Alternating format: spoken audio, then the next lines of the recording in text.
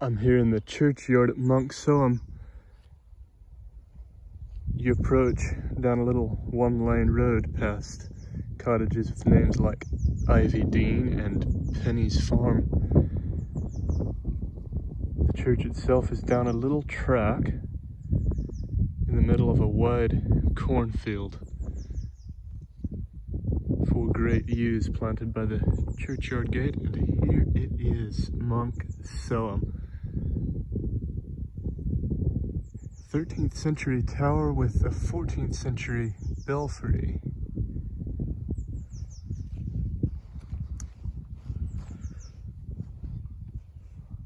On walking around, you will find that as at Sproughton and elsewhere, there are massive boulders used as foundation stones at the southwest corner of the tower, here, and under the east buttresses of the chancel.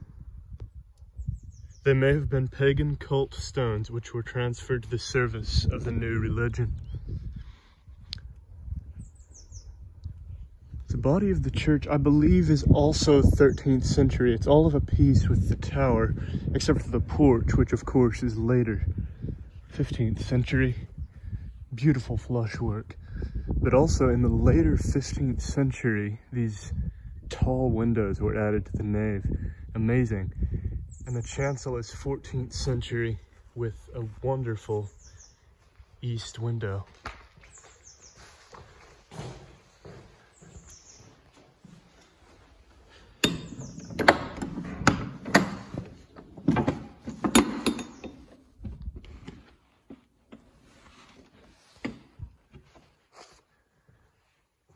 And there it is, a Seven Sacraments font.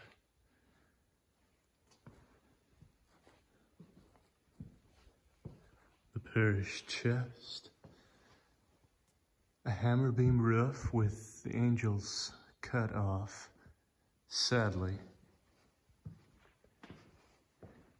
And there's that wonderful east window.